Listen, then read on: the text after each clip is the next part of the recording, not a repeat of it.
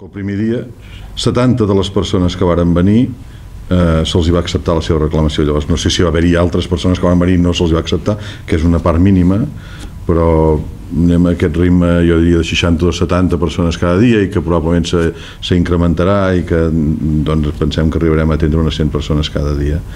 Mm, veurem, veurem com va, si és necessari posar-hi més persones, intentarem posar-hi més personal, si hi han d'obrir més dies a la tarda, posarem més dies a la tarda. S'ha co- s'ha consolidat o s'ha confirmat la idea de fer com una cua tècnica per a aquestes persones, per, per APIs, per, eh, per eh, administradors de finques, per eh, advocats que vinguin doncs, doncs, fer-los una cua tècnica professional on te puguin venir a entrar tots els papers.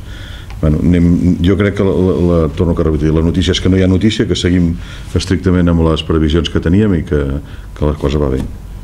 Si se'ls reconeix, per exemple, el, que, que se'ls ha valorat malament el, el garatge i que han estat pagant 10 anys de més, No, no, això no és així.